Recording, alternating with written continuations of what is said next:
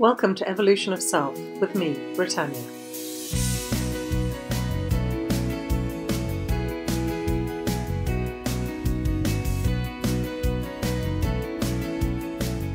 Hello. So, this week we're going to be looking at allowing yourself to be seen. And in this world where we have so much social media and where presenting ourselves in a certain way is almost like an unwritten rule, allowing yourself to be truly seen seems to be completely counter to what everyone else is trying to do. Trying to portray this perfect life where everything is beautiful and you're having the most amazing experience and they're so unique and so much better than everybody else. But actually, allowing yourself to be seen is where true freedom lies. Because trying to maintain a perfect looking life to everybody else is incredibly exhausting. Not only is it exhausting, but it actually creates a lot of distance between you and other people. If you think about people, um, and the name Brene Brown comes to mind, who've shared really personal insights into their own lives, you feel a connection with people like that. It's almost like you get them and you understand them on a much, much deeper level than you would somebody who portrayed this perfect lifestyle.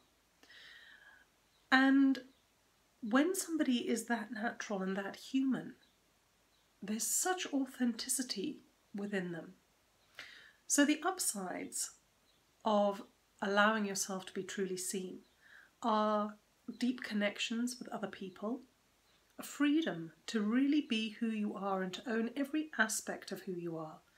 And when you own everything and you learn to let go of the shame of some things that you think are unacceptable, you can see the same in everyone else. You're able to see that all humans are just human. We're all flawed. We all have things we like and dislike about ourselves.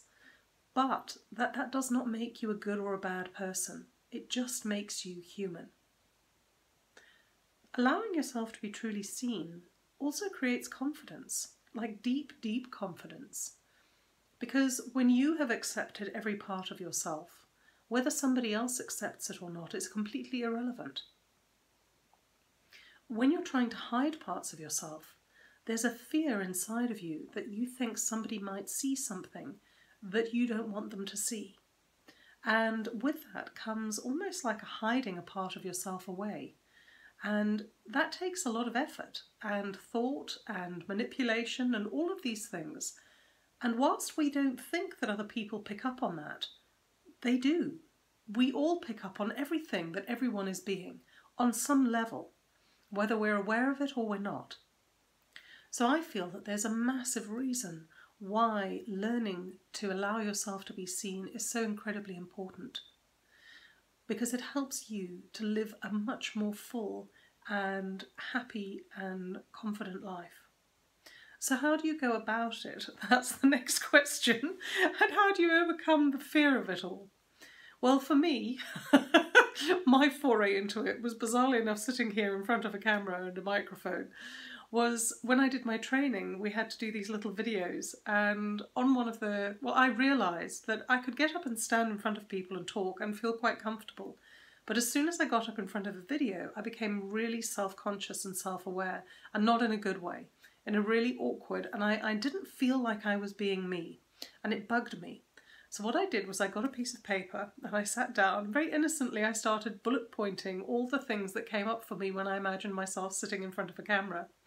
And I started and I put them all down, and the very last thing that I put down was alone.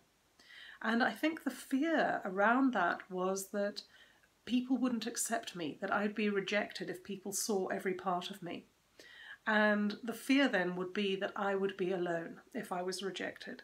And I can't say that it was pretty because when I realised this, one solitary tear crashed down the side of my face and then and then the floodgates opened. But allowing myself to fully feel that and asking myself the truth, is it really true that I would be rejected by every single person I knew if they knew who I was? Was realising that that was so untrue. And also realising that the truth is that the more people know you, the more they're able to love you because they're allowed to see all of you and the more accepting they are of all of you. And would you really want to be accepted by people who didn't want to see all of who you are? So the first step is to realise what it is that you're afraid of, what you're afraid people will see if they were able to see all of you. And the next step is to be comfortable with all of you. And there's a lovely lady who unfortunately has now passed called Debbie Ford, who's done a lot of work on shadow self.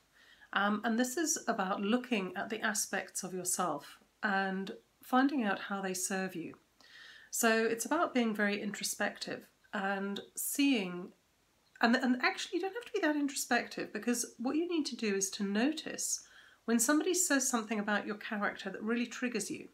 So for me, in the years gone past, one of the things was pathetic, bossy, um, too sensitive. So just those are just to name a few things that I used to get triggered by if people said that that's what I was. And it's to look at those aspects of who you are and to find out how they serve you. It's to own them.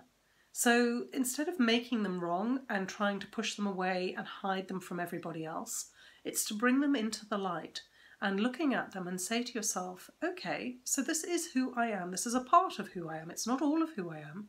And how does that serve me in this life?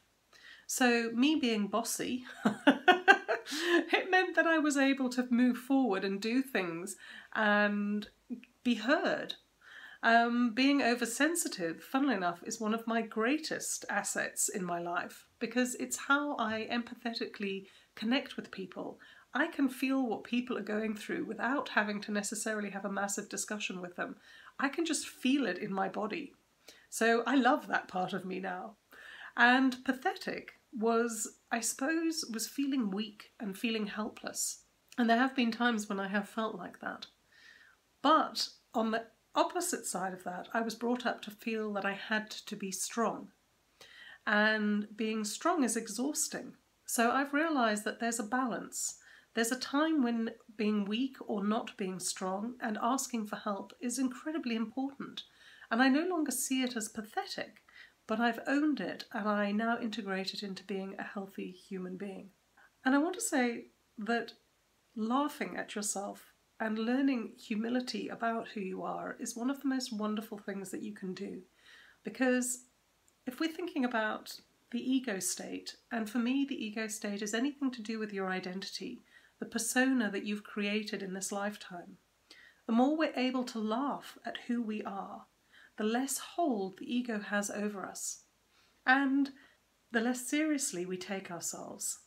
And all of that creates a lightness, an effervescent part to your personality, because the ego is constantly trying to protect itself and make itself real. But who you are is so much more than your ego that if you're able to laugh at yourself and to see the funny side in your personality, you will stay much more centered, much more true to yourself, and much more real. Now, I know I've only just scraped the surface on allowing yourself to be seen, but I hope there's something in this video that you found that will help you to sort of break open a little bit more and step forward a little bit more into being who you truly are. There is, it's not by coincidence that authenticity is valued so highly in society, and yet it is such a rare commodity. And this being truly seen is about being authentic. And I might speak about authenticity in a bit more detail in a later video. I've really loved being with you here today. I hope you've enjoyed this video. If you have, I would really appreciate it if you liked it or subscribed or even shared it with people. That would mean a lot to me. If you want to access any more resources that I have, you're welcome to do so on my website, which is www.brittanya.com, B-R-I-T-T-A-N-Y-A.com.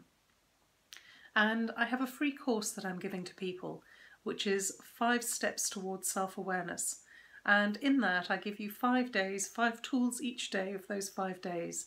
Um, they're just something fun, but something that I really help hope will help you on your personal growth journey. So much love from me to you. Bye bye.